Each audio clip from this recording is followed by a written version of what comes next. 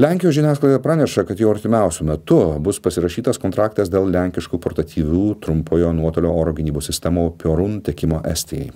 tokiu atveju estija taps trečiąja valstybe šių sistemų naudotoja keturioliktaisiais lietuva pasirašė kontraktą dėl ankstesnės kartos lenkiškų sistemų grom įsigijimo. Taip pat šiemet lenkija perdavė neskelbiamą peron kiekį ukrainai kur šios sistemos aktyviai naudojamos realiomis kovinėmis sąlygomis. Kaip skelbia ukrainos pusė šių sistemų pagalba buvo numušti sraigtasparniai k penkiasdešimt ir mi dvidešimt keturi su dvidešimt penki ir su trisdešimt keturi lėktuvai o taip pat orlan dešimt žvalgybiniai dronai skirtingai nuo latvijos ir lietuvos kurios turėjo stinger grom estai iki šiol neturi manpedų jų trumpojo nuotolio oro gynybos sistema yra labiau stacionari prancūziška mistral du sleš trys. Taip pat jie turi nedidelį kiekį lenkiškų dvidešimt trijų milimetrų suporuotų zenitinių patrankų zu du trys du aaa